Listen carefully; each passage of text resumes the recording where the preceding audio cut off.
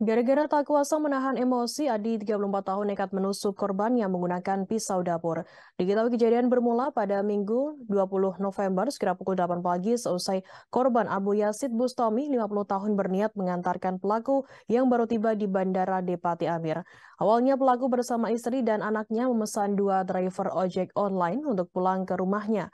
Namun satu ojol yang dipesan pelaku menunggu di depan portal karcis bandara, sedangkan istri dan anaknya sudah pulang dengan menggunakan menggunakan ojol lainnya.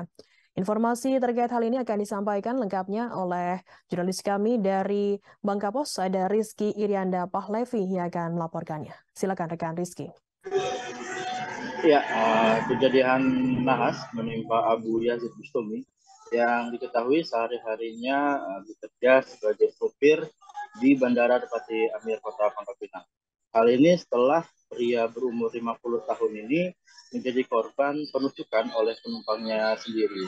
Untuk kejadiannya juga berawal dari saat pelaku yang baru tiba di Bandara Depati Amir. Uh, saat itu pelaku memesan uh, ojek online, namun ojek online yang dipesannya ini uh, harus menunggu di loket karcis atau uh, sekitar 300 meter dari posisi uh, pelaku.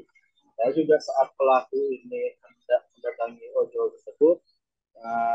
korban ini yang menggunakan mobil uh, bertemu dengan uh, pelaku yang sedang berjalan dan menawarkan diri untuk memberikan tumpangan secara gratis uh, kepada pelaku untuk menemui ojol yang sudah dipesannya karena memang diketahui foto korban ini uh, memberikan tumpangan gratis karena jalurnya searah dan memang uh, korban ini uh, hendak pulang ke rumahnya.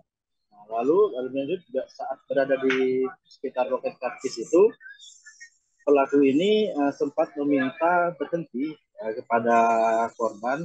Namun saat uh, itu dikarenakan uh, diduga korban ini tidak mendengar uh, permintaan dari pelaku uh, dan mobil ini pun terus melaju. Namun pelaku ini uh, justru langsung keluar dari mobil uh, mobil ini masih uh, melaju.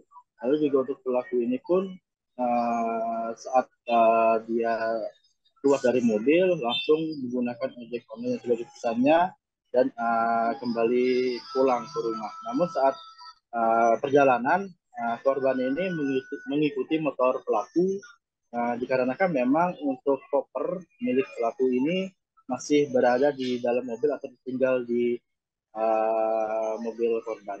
Nah, hasilnya saat tiba di rumah pelaku, pelaku ini langsung masuk ke dalam rumah untuk mengambil uh, pisau. Lalu pisau itu pun langsung ditusukkan ke korban sebanyak tiga kali saat korban uh, baru tiba di rumah pelaku dengan tujuan awal untuk mengantarkan koper yang tertinggal. Namun tusukan uh, tiga kali yang diterima korban ini uh, membuat pisaunya pun tertancap di tubuh korban dan korban juga yang pingsan langsung dilarikan ke rumah sakit sedangkan untuk pelaku uh, tak berselang lama sekitar dua jam tim Naga Sarus Tim Polres Pangkal Pinang juga langsung menciduk pelaku dan membawa ke Polres Pangkal Pinang guna uh, proses hukum lebih lanjut demikian ya. Baik, terima kasih. Rekan Rizky Irianda Pak Levi dari Bangka Pos atas laporan Anda. Selamat bertugas kembali. Terima kasih sudah nonton. Jangan lupa like, subscribe, dan share ya.